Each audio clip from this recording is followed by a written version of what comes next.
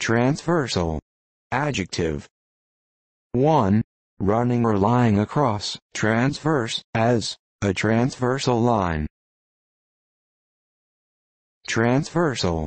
Noun. 1. A line which traverses or intersects any system of other lines transversely. 2. Mathematics, a set containing one member from each of a collection of disjoint sets,